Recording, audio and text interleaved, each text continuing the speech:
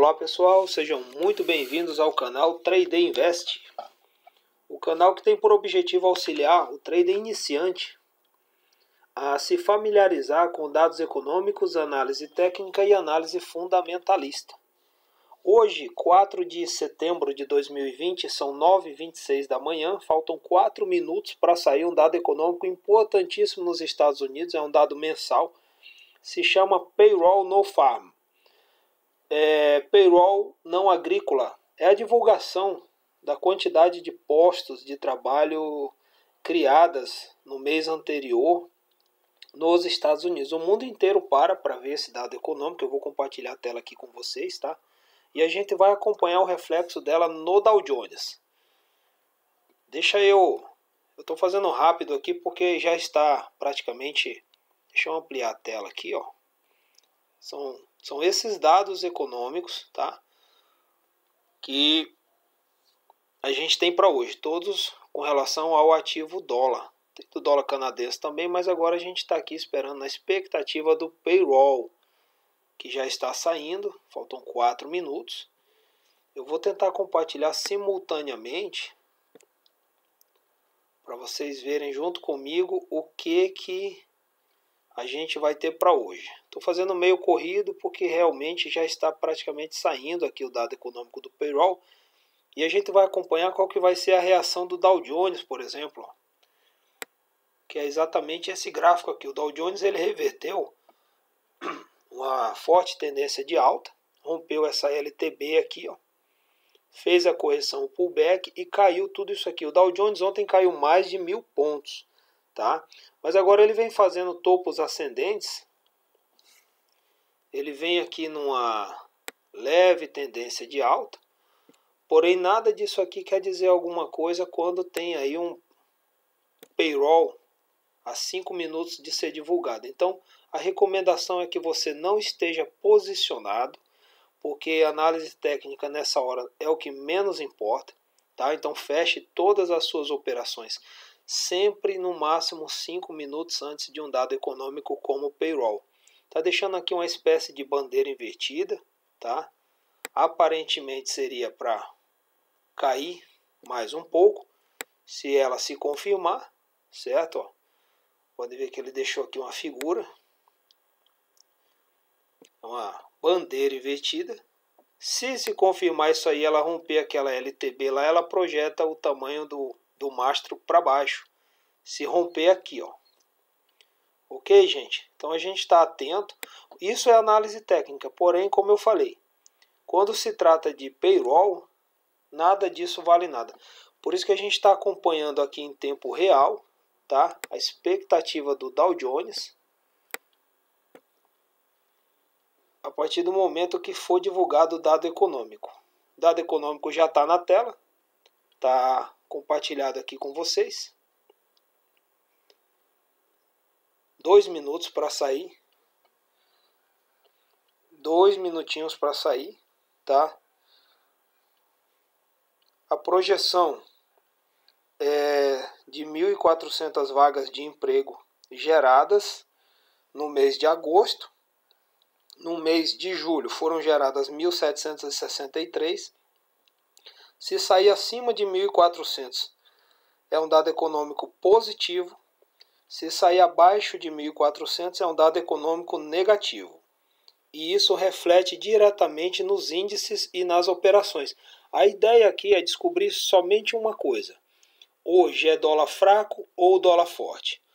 É o payroll que vai determinar isso aí, porque a partir do momento que eu descubro, o que eu fico sabendo, se é dólar fraco ou forte, eu posso ir para as operações. Eu posso ir para o Forex, eu posso ir para o ouro, né, um metal, uma moeda de segurança, porque eu já tenho o meu viés de mercado. Então a gente está aqui, ó, falta um minuto para sair o payroll, você vai acompanhar comigo a divulgação do dado econômico. Deixa eu ampliar um pouco mais aqui, ó. Payroll non farm, referente ao mês de agosto. Não sei se vocês conseguem ver, acredito que sim. Saiu, já foi divulgado, ó, exatamente agora.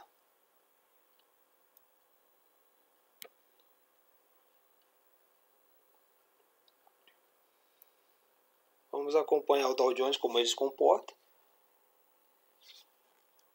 Dado econômico ruim. Saiu abaixo do esperado, tal. Tá, e a taxa de desemprego saiu boa.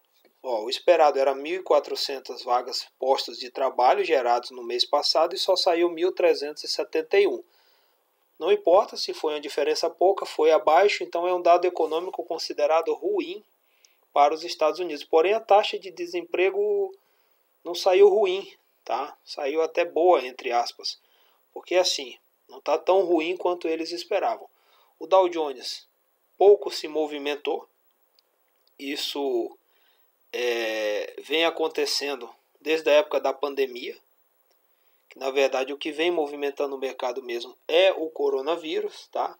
Antes da pandemia, quando saía um dado econômico desse, geralmente o Dow Jones e todos os outros índices é, abriam ou fechavam em gap, tá?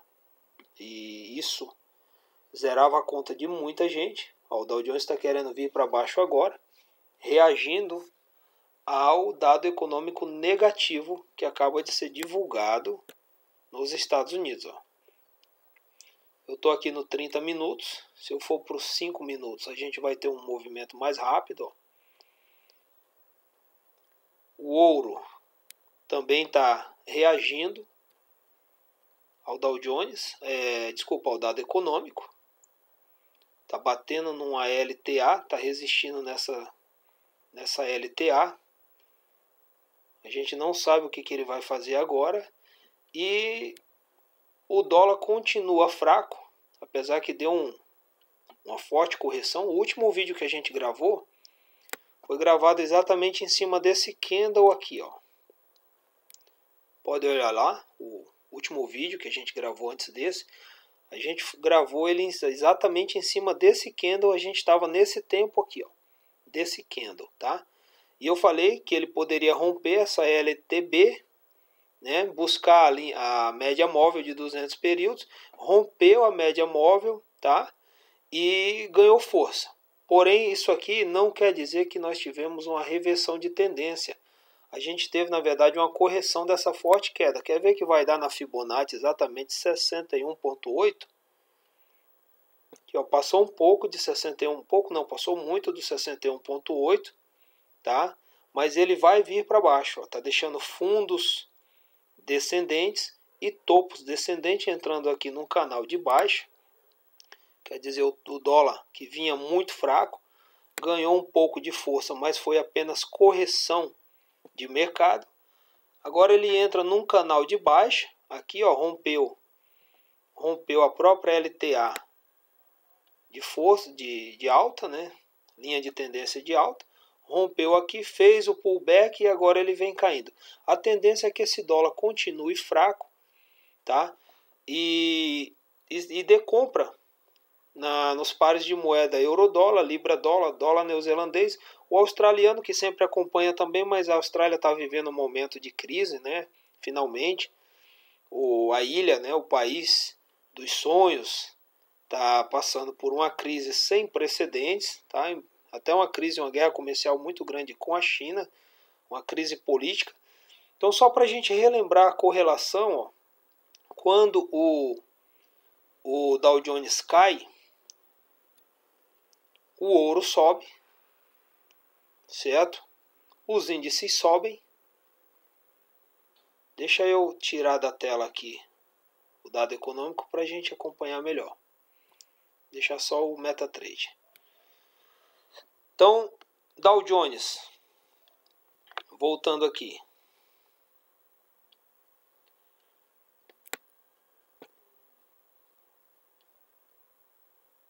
Dow Jones indo buscar LTB, ele está nessa zona de consolidação aqui, fazendo uma figura chamada flâmula. Se ele romper para baixo ou para cima, ele tende a fazer o tamanho dessa consolidação para cima ou para baixo. Digamos que ele volte e rompa rompa para baixo aqui. Então a gente teria aqui, ó, isso aqui para ele cair. Se ele confirmar, se ele continuar funilando aqui, fazendo topos descendentes e fundos ascendentes, então ele vai afunilando aqui Ele tem feito muito isso, o Dow Jones e o ouro, mas num momento qualquer ele tem que romper, ou para cima ou para baixo. Se ele romper para baixo, a gente mede, isso aqui já é análise técnica, tá? A gente mede o tamanho né, do triângulo ou da flâmula e projeta para cima para estipular um alvo ou para baixo também para estipular um alvo. Ok, pessoal? Então, como a gente tem, continua com dólar fraco, né? Ele simplesmente fez uma bela correção. E vamos ver o que aconteceu nessa correção, exatamente nesse candle. No vídeo anterior a gente estava estudando o euro dólar, a libra dólar e a gente estava exatamente nesse candle aqui também, ó. Pode olhar o vídeo lá e conferir, certo? Então, como eu falei, que alguns ativos andam na direção do índice dólar e outros andam inversamente ao contrário do índice dólar, o euro é um deles. Ó. Então, pode reparar que o que o euro caiu foi exatamente o que o índice dólar subiu. Ó. O índice dólar subiu tudo isso aqui e o euro proporcionalmente caiu tudo isso aqui. O euro que vinha numa fortíssima tendência de alta, tá? Mas com essa leve recuperação de correção do, do índice dólar, o euro recuou bastante. A libra também, a libra também, ela sempre vai na direção contrária ao índice dólar, mesmo movimento da libra.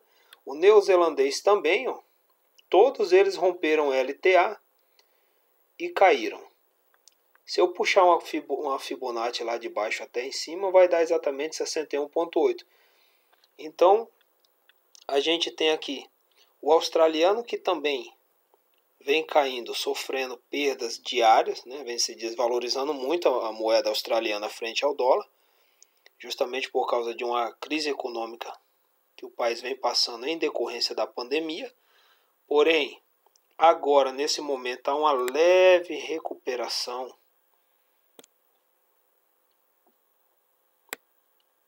do dólar australiano. Deixou um ombro, cabeça, ombro invertido aqui. Tá, tá deixando um W também. Várias figuras de reversão de tendência, o que indica que ele pode subir. E tá deixando também fundos ascendentes. Ó. Ele deixou um fundo, fundo mais alto, recuou um pouquinho, mas esse fundo ainda está mais alto do que esse. E deixou um fundo mais alto do que esse. E um topo um topo mais baixo, porém um topo mais alto aqui, um topo mais alto aqui e um topo mais alto aqui. Então o australiano esboça aí uma leve recuperação frente ao dólar depois de, ó, mais uma vez só para vocês verem como que ele vem, o diagnóstico desse, desse ativo, caindo já há vários dias e caindo de uma maneira descomunal. Ok, gente? Após a divulgação do payroll, eu acredito que o dólar vai ganhar um pouquinho de força, tá? Então a gente tende hoje a ter dólar forte, ó. Tá ganhando força e tá indo embora. Ó. O dólar rompeu, ele vinha nessa tendência de baixa, ó. Tá rompendo essa LTB com um candle de força. Então eu acredito que hoje a gente vai ter dólar forte e índices para baixo que é o Dow Jones, o S&P e o Nasdaq, tá? Então, partindo dessa premissa, dessa previsão de mercado hoje, desse viés de mercado, se eu acredito que eu vou ter dólar forte, então eu vou ter venda no euro, tá? Que é o contrário, ó, ó dólar subindo, como eu falei, o euro já vem caindo, ó. Olha o quanto que está caindo esse candle aqui. Imagina se a gente pega essa venda com um lote. 2, 3, 4, 5 lotes, a gente já tinha feito um mês só aqui. Ó, ó o yield vem, vem embora. E vem embora. Eu estou operando ali em outro computador. Esse aqui é só para gravar vídeo, tá, gente? Senão fica muito pesado. E vem embora. Mas porque o índice dólar está subindo. Ó. Índice dólar subindo. Ó. Tá indo embora também. E o euro está vindo para baixo. A libra também vem para baixo. Eu já sei até antes de abrir, ó. Libra também está derretendo. Neozelandês com certeza também está derretendo, tá aqui, ó. Sem medo de errar, tá? O australiano, que até então estava subindo, já está derretendo também, ó, já rompeu a LTA, rompeu essa LTA aqui, que é um suporte, ó. rompeu, voltou e está testando ela aqui de novo, mas rompeu. Então você vê como é importante a gente saber o viés de mercado, principalmente a força do dólar no dia, quando a gente vai operar day trade. E o payroll, divulgado toda primeira sexta-feira do mês, é o dado econômico fundamental, o melhor de todos para a gente extrair qual vai ser a tendência do dólar, principalmente pro dia, tá? Lembrando que segunda-feira a bolsa nos Estados Unidos e no Brasil não funciona. É, lá nos Estados Unidos só vai ficar aberto o mercado futuro, mais ou menos acho que até o meio-dia, e o dólar vai embora. E o dólar ganhando força. E o euro vai derretendo. Ó. Então vocês estão acompanhando comigo aqui ao vivo, tá? Porém o vídeo não é transmitido em tempo real, mas a bolsa aqui é o movimento dela real, tá, gente? Estou numa conta real, porém não estou operando nessa conta. Eu já tinha me posicionado antes, graças a Deus está indo na direção do que eu programei. Estou positivo em todas as operações. Tá? Uma hora eu vou postar o vídeo eu mesmo operando. E, e temos aí ó, a confirmação da nossa análise do dia. Ó, tá testando esse suporte agora a Libra, tá querendo romper. Tem um suporte muito forte aqui, ó. No fechamento desse último candle, ela tá testando exatamente aqui, ó. Que é um suporte forte no fechamento desse candle, tá? Se romper, ela vem embora para baixo. E quanto mais o, o dólar subir, mais o euro, libra, o neozelandês e o australiano vão vir para baixo. Porém, o ien, a gente não viu ainda. O ien segue o índice dólar. O ien já é o contrário. O ien anda na mesma direção do índice dólar. Olha o quanto que ele está subindo. Subiu, fez essa máxima e está brigando aqui para recuperar tudo isso. Ó. O franco suíço, o CHF também, está subindo. É outro ativo que também acompanha o índice dólar, vai na mesma direção. Como eu falei, alguns são 100% ou ao contrário do índice dólar e outros acompanham literalmente a direção do índice dólar. O canadense também, ó, depois de uma forte queda, ele também vem se recuperando, ó, porque esses três andam na mesma direção do índice dólar. Por último, a gente vai olhar o ouro. O ouro não se decide, está deixando o martelo investido aqui.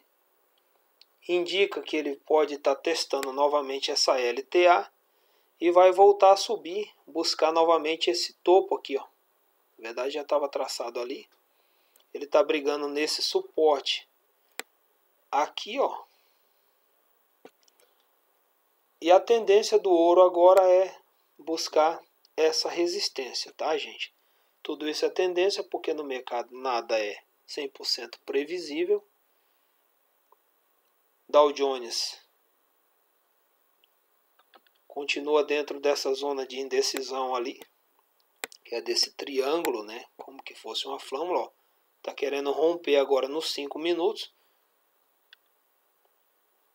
Acredito que muita gente que não sabia do dado econômico hoje tomou aí umas belas violinadas, outros também deram um gain assim mais rápido do que até esperavam. Ok, gente, então essa foi a abertura do Dow Jones hoje, desculpa, do a divulgação do dado econômico de hoje. Lembrando que às 10h30 ainda vai abrir o índice Dow Jones. Pode ser que dê outro impacto, tá bom? Porque são dois efeitos em dia de payroll. Um às 9h30, quando é divulgado o dado econômico em horário de Brasília. E outro às 10h30, quando a Bolsa de Nova York abre. Porque nesse momento a gente está vendo o Dow Jones no mercado futuro, tá? Isso aqui se chama pré-mercado. Às 10h30 abre o mercado à vista. E aí é, pode ser outra pancada, ou para baixo ou para cima. E foi o Dow Jones. Ó. E foi o Dow Jones. E eu estou positivo, mas estou positivaço aqui na tela do meu PC. Aqui eu estou gravando pelo notebook, mas pelo computador eu estou positivado. Graças a Deus hoje eu consegui ficar positivo. Eu estou aberto em quatro operações e estou positivo em todas. Uma praticamente no 0 a 0, mas eu estou positivo. Porém, em 3 eu estou bastante positivo, meu final de semana está garantido. Uma hora eu vou mostrar para vocês, eu vou começar a operar e postar os vídeos eu mesmo operando. Porém, aqui esse conteúdo é educativo, tá? Esse conteúdo é preparatório para você que está começando. Eu não quero que você foque nos meus números, eu não quero que você foque nos meus resultados, ou seja, no dinheiro. Eu quero que você foque na preparação, na análise técnica, na análise fundamentalista e conhecer a própria plataforma do MetaTrader 5. Sem esses três, essas três ferramentas, sem o domínio dessas três ferramentas, você não vai conseguir chegar a lugar nenhum. Você vai quebrar todas as suas contas, até porque a gente sabe que são contas pequenas de quem está começando, é 30, 20, 40, 50 dólares.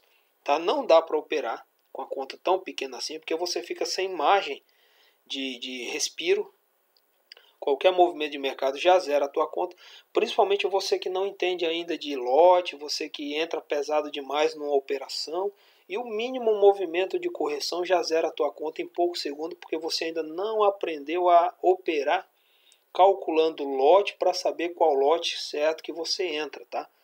Dow Jones não aceita operar com 0.01. O lote mínimo dos índices é 0.10, tá? Muita gente não sabe disso. O ouro é muito pesado.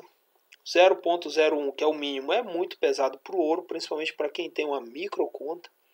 Se você puser 0.02 ou 0.03, é pesadíssimo no ouro para uma conta de 50, para uma conta de 30 dólares, tá? Isso a gente vai estar tá ensinando. Por que, que eu sei disso? Porque eu comecei, eu passei por isso também um dia. E eu sei como que é difícil você de repente estar tá ali com 30 dólares na conta e o candle dá uma balançada e pronto, zerou tua conta. Deixou 2 dólares ali. E você não consegue mais entrar em nenhuma operação porque você não tem margem de segurança para deixar para a corretora.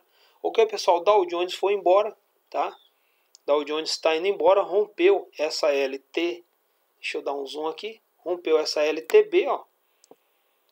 E a tendência é que ele venha buscar. Deixa eu achatar a tela. A tendência é que ele venha buscar a base né, desse triângulo deitado para cima. Isso é tendência, tá, pessoal? Não é certeza. Ok, gente? Isso aqui é o que dizem os livros de análise técnica. Pessoal, espero ter ajudado. Como a gente fez a abertura muito rápida, eu não pedi, se inscreva no canal, curta o vídeo, deixa o seu like, ative o sininho, compartilha, deixa o seu vídeo, é, desculpa, deixa o seu comentário. Pessoal, às vezes eu falo coisas assim que eu estou de olho em três telas aqui, tá? Então as coisas às vezes entram na minha mente meio confusas e eu acabo falando, invertendo, trocando as bolas. Eu espero que vocês me compreendam, tá? A gente não é robô. Isso acontece com todo trader porque eu estou de olho nas notícias, eu estou de olho no Investing, eu estou de olho no Bloomberg, eu estou de olho no site da CNBC e eu estou operando aqui praticamente em duas telas, uma para ensinar vocês e outra eu estou olhando ali também os meus resultados. Então peço mais uma vez que se inscreva, compartilhe esse vídeo, deixe o seu like no canal e qualquer dúvida você deixa nos comentários. Lembrando, ó, vou encerrar o vídeo agora 9h49. Lembrando que a gente está operando o mercado futuro dos índices, tá? 10 e meia abre a bolsa de Nova York, a NYSE, e aí a gente vai ter o mercado à vista do Dow Jones. Então, esse mercado à vista é diferente do mercado futuro e o índice pode sim ter aí entrar abrir num gap de alta, num gap de baixa. Então, o que, que eu recomendo? 10 e 25 no máximo. Você encerra todas as suas operações que você tiver nos índices Dow Jones, Nasdaq, S&P 500, saia porque de repente ele pode abrir numa força de alta ou de queda muito baixa, pular o teu stop, não respeitar os teus stops e zerar, lamber a tua conta, raspar o tacho. Então saia sempre cinco minutos antes da divulgação de qualquer dado econômico e da abertura da bolsa nova, nova iorquina, né, Wall Street, porque você corre um risco muito grande ou de dar um, um gain muito grande acima do que você queria ou de dar um loss muito grande acima do que você poderia e zerar a tua conta assim do nada. Ok, pessoal? Espero ter ajudado. A gente está aqui à disposição. Vamos gravando mais vídeos. Hoje a gente acompanhou juntos a divulgação do payroll non farm, né? E não mexeu tanto nos índices no momento imediato, porém o Dow Jones ele reagiu. Cinco minutos depois ele começou a ganhar força e o dólar também. Fiquem atentos aos pullbacks, né, os movimentos de correção, porque nada só sobe, nada só desce, tá bom, gente? Para você poder definir seus melhores pontos de entrada e, se preciso for, de saída também de uma operação. Muitas vezes a gente vê que depois que a gente vê que entrou errado, né? E não é feio meter o dedo lá no, no, no stop, no X e fechar a operação. Ok, pessoal? Um forte abraço, a gente se vê no próximo vídeo.